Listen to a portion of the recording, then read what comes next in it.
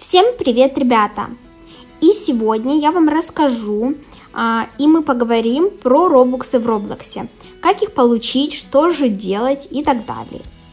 Итак, для начала, ребят, робоксы в Роблоксе а, можно получить очень разными способами.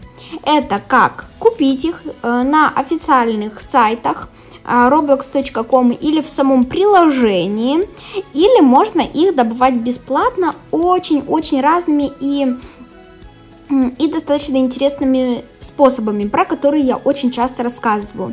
Это сайты, какие-то приложения. Это достаточно интересно, ну и, естественно, без каких-то утрат. А также э, робоксы нужно тратить э, обдуманно, то есть желательно не тратить их на какую-то фигню. Допустим, а, сейчас пэты в Adopt.me, а, которые за робоксы достаточно сильно обесценились. А, и их точно покупать за робоксы не нужно. Это будет бесполезная трата, по моему мнению. Но вы напишите свое мнение в комментариях.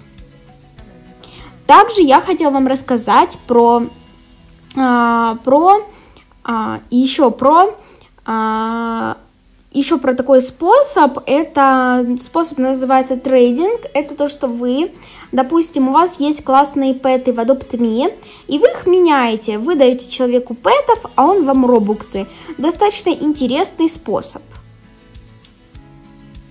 Также многие говорят, то, что робуксы можно получить только-только официально. Ребят, это неправда. А, вам может какой-то человек подарить вам робуксы. Допустим, у вашего друга есть 500 робуксов, у вас робуксов нету. Вы можете с ним как-то договориться, или он вам может просто подарить эти робуксы и перевести через официальный сайт. А, да, конечно, будет небольшая комиссия, но ничего страшного. Э, про это вы можете посмотреть отдельные видеоролики на YouTube. Надеюсь, тема робуксов, а, тему робуксов я немножко рассказал. Надеюсь, я вам помог. А вы пишите в комментариях вопросы или наоборот вступайте в дискуссии, рассказывайте про ваше мнение по этому поводу, куда вы тратите робуксы или куда хотели бы их тратить, если у вас их нет. Всем спасибо за просмотр, всем пока!